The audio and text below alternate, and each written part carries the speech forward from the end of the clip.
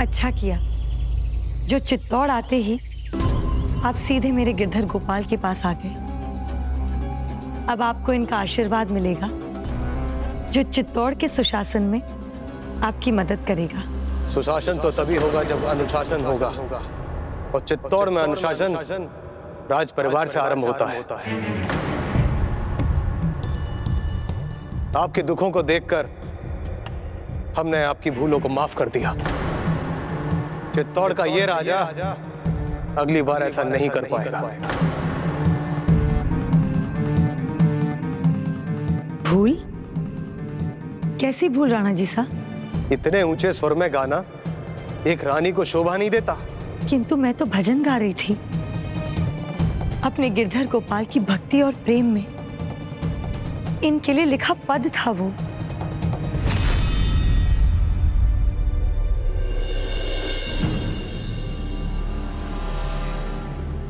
अगर भजन कीर्तन का इतना ही मन है तो महिलाओं की भजन मंडली बुला लीजिए। फिर जितने भजन चाहती हैं उनसे गवा लीजिए। किंतु राणा जी सा जो आनंद स्वयं गाकर भक्ति और प्रेम के प्रदर्शन में है वो किसी और के गाने में कहा। इसीलिए मेरे लिए स्वयं को भजन गाने से रोकना असंभव है। मध्यम स्वर में गाने से आपकी आवाज़ भगवान के पास नहीं पहुंचेगी क्या? मैं चाहता हूँ कि आपकी आवाज़ मंदिर के बाहर ना जाए। कोई सुनेगा तो क्या कहेगा?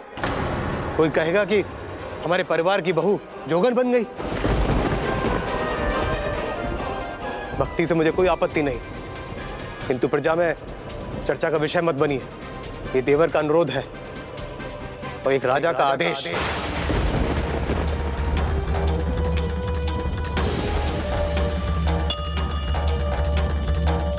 प्रणाम प्रभु।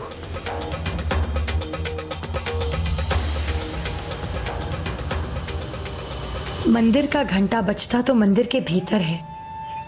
पर उसकी गूंज को दूर तक पहुँचने से कोई नहीं रोक सकता।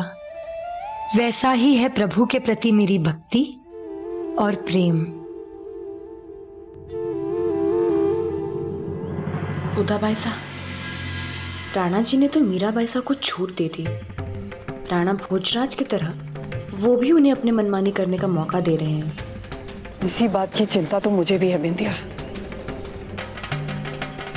अगर विक्रमादित्य भाईसा ने भी वही भूल कर दी, जो भोजराज भाईसा ने की थी तो मीरा भाभी सा अब भी राज परिवार की मर्यादा का पालन नहीं करेंगी। इससे पहले कि मीरा भाभी सा कोई ऐसी भूल कर दे, जिससे राज परिवार के सम्मान पर सदा के लिए कलंक लग जाए। काश विक्रमादित्य भाई साहब को यह पता चल जाए कि मीरा भाई साहब अपनी भक्ति में किस हद तक जा सकती हैं, क्या कर सकती हैं। मर्यादा की चिंता उदाबाई को थी और अनुशासन की राणा विक्रमादित्य को। किंतु दोनों ही ये नहीं समझ सके कि जिनकी प्रभु भक्ति और प्रेम अलौकिक थे, वो लौकिक बंधनों से बंधी हुई नहीं थी। क्योंकि जिन बंधनों में समाज मीरा को बांधना चाहता था, वो उससे परे थी। वो तो बस एक ही बंधन समझती थी, गिरधर गोपाल से प्रेम का बंधन। तो उस दिन से मीरा मंदिर में गिरधर गोपाल के चरणों में ही रहने लगी। वहीं उनका दिन शुरू होता और वहीं प्रभु की सेवा और पूजा करते करते उनकी रात हो जाती। फिर क्या गजानन? वो मंदिर में रहकर राणा जी के आदेश का पालन कर पाई? मीरा तो बस प्रयास कर सकती थी और वो उन्होंने किया भी परंतु प्रभु की सच्ची भक्ति की महिमा को फैलने से रोकना तो असंभव था। हरे रामा, हरे कृष्णा। हरे रामा, हरे कृष्णा। हरे रामा, हरे कृष्णा। हरे रामा, हरे कृष्णा।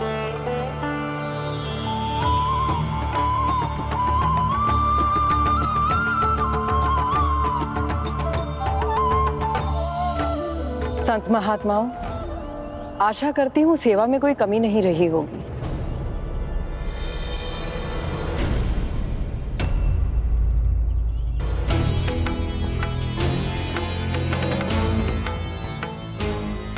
आपको कोई और सेवा चाहिए क्या?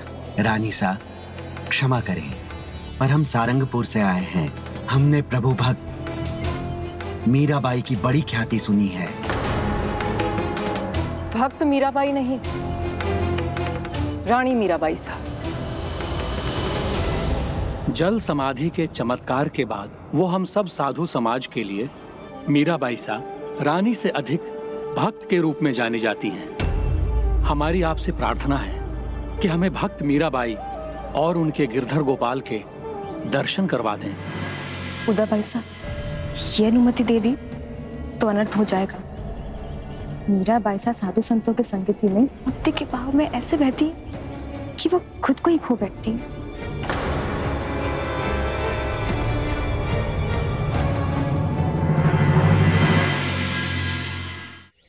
आप जैसे साधु संतों के अनुरोध को मैं अस्वीकार कैसे कर सकती? यदि आप मीराबाई से भेंट की इच्छा रखते हैं तो मैं आपको रोकूँगी नहीं। बिंदिया, जाओ। मीराबाई सा से कह दो।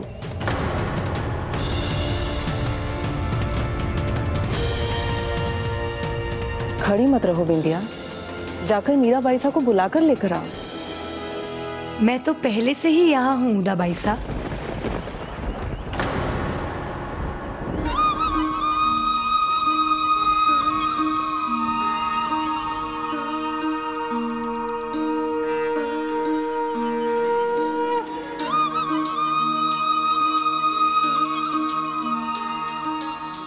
साधु संत द्वार पर खड़े हों और मीरा उनके स्वागत के लिए ना आए। ये कैसे हो सकता है? मेरे गिरधर गोपाल के दर्शन के लिए आप सबका स्वागत है। आइए।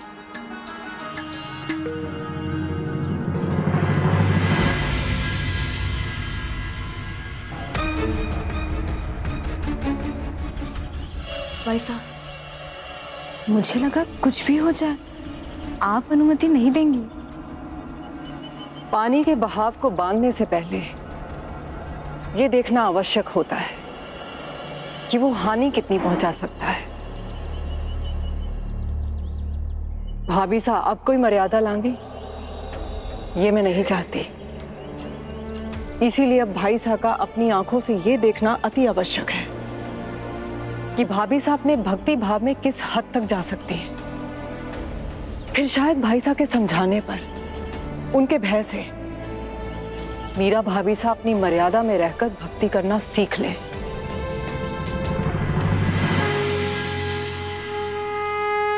प्रभु गिरधर गोपाल की।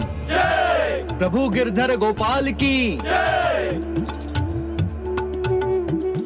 भक्त मीराबाई सा आपकी भक्ति की प्रशंसा सुनकर हम यहाँ आए हैं। और आज आपका और आपके गिरधर का दर्शन तब तक पूर्ण नहीं होगा जब तक आपके मुख से गिरधर की भक्ति में लिखे आपके पद न सुन लें। मैं चाहता हूँ कि आपकी आवाज़ मंदिर के बाहर ना जाए। ये देवर का अनुरोध है और एक राजा का आदेश। भक्ति में संकोच कैसा मीराबाई सा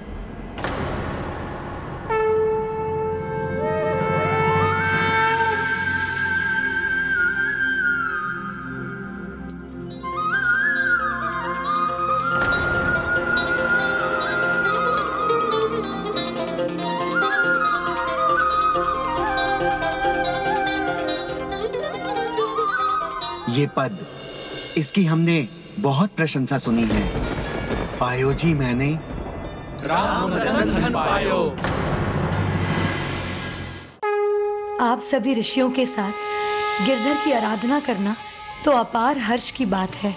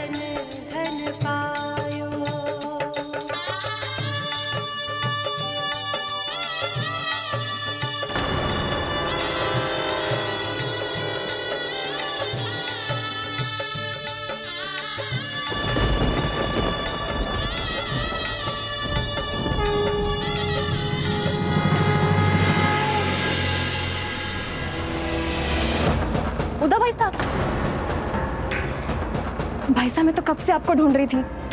वही हुआ जिसका डर था। किसका डर था?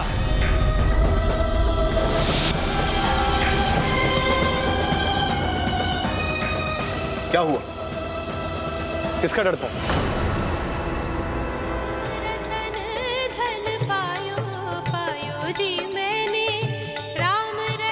ये ये किसका स्वर है? खिड़की खोलिए। खिड़की खोलो। हम भी तो सुने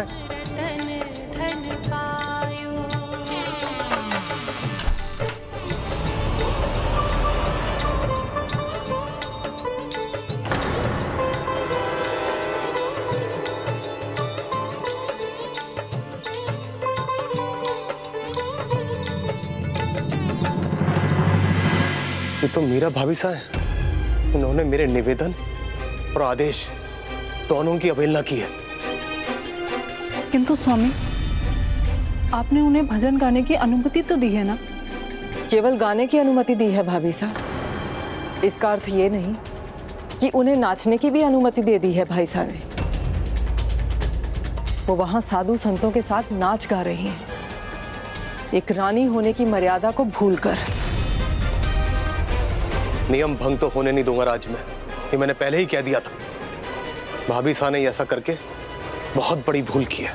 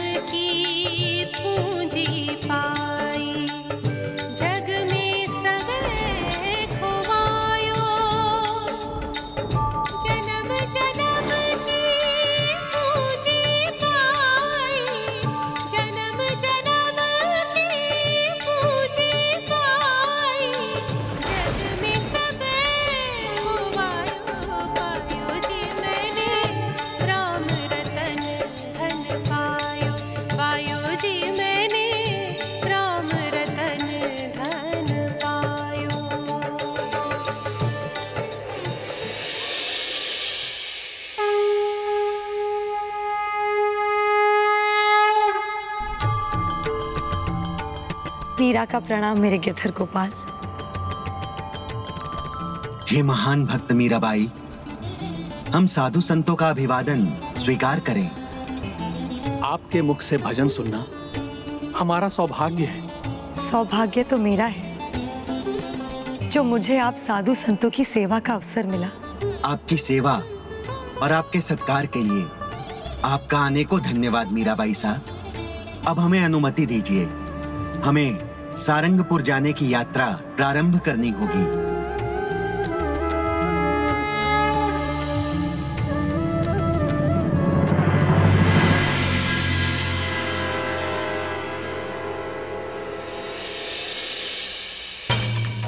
अब वो दिन दूर नहीं, भाई साहब। जब चित्तौड़ की रानी को लोग रानी सा नहीं, जोगन मीराबाई सा बुलाएँगे।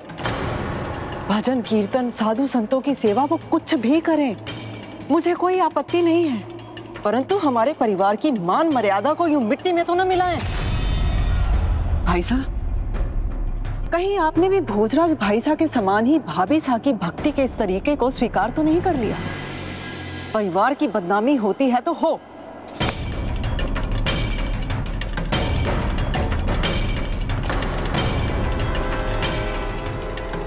योद्धा अपनी तलवार को कक्ष में नहीं चलाते भाई साहब।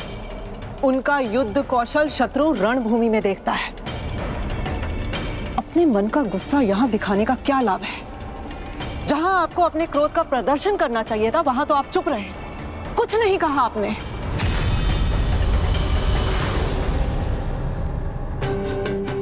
मैंने कुछ नहीं कहा, इसका अर्थ ये नहीं कि मैं कुछ कहना नहीं चाहता था। मीरा भाभी साहब के आचरण से मुझे भी आपत्ति है। मैं उन्हें रोकना चाहता था। कठोर संदेश देना चाहता था। लेकिन जैसे मैंने प्रभु की मूर्ति देखी,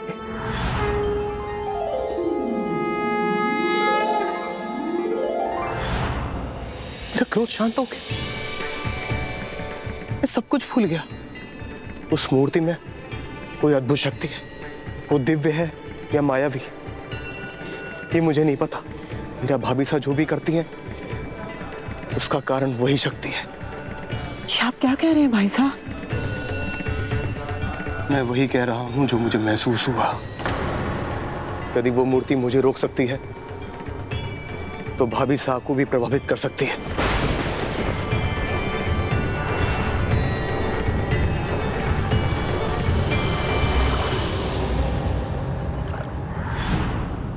अब हम क्या करें भाई साहब? हमें उस मूर्ति को भाभी साहब से दूर करना होगा। और ये कार्य जितना जल्दी हो उतना अच्छा है।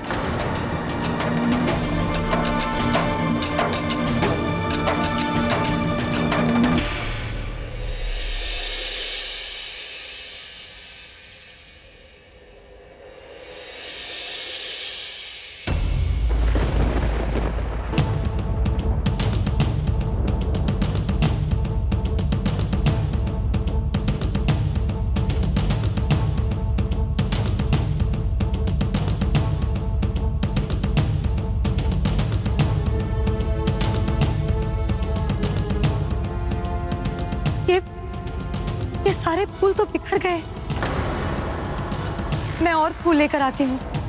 आपको थोड़ी प्रतीक्षा करनी होगी।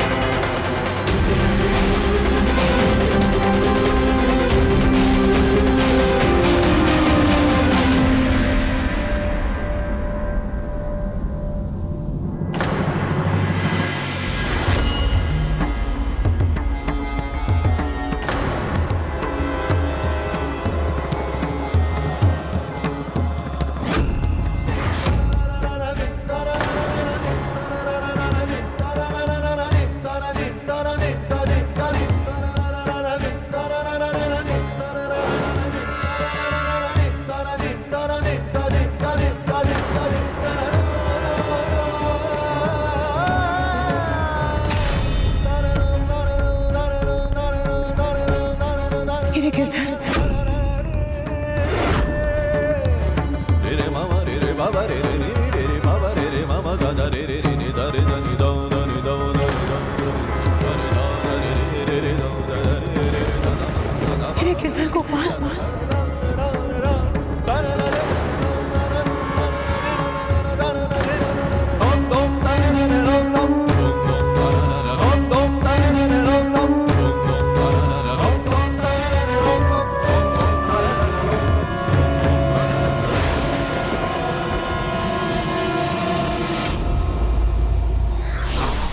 निर्मल चित्त भक्त की भक्ति को सीमाओं में बांधना उतना ही असंभव है जितना पुष्प की सुगंध को।